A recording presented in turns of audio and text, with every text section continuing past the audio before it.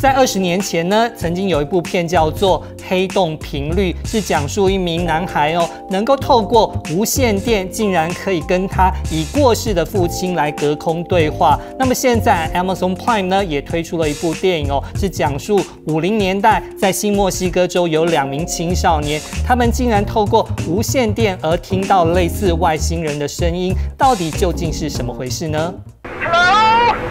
两名高中生，一位是总机接线生费伊，另一位是深夜电台主持人埃弗雷特。他们在某天晚上突然间发现无线电波上有一种奇怪的干扰，而这种干扰似乎不是来自于人类。当埃弗雷特询问他的观众是否知道这种奇怪的声音时，两人发现了一个涉及军方的全球阴谋，这还包括了民众不明原因的失踪，很有可能是外星人绑架。电影里的两位主角在五零年代的氛围中不断的争吵，相当有趣。另外，透过复古的叙述方式来呈现这个惊悚的故事，也很特别。The Vest of Night 除了在 Amazon Prime 上播出以外，也会在各地的 Drive-in 汽车电影院上映。What's going on?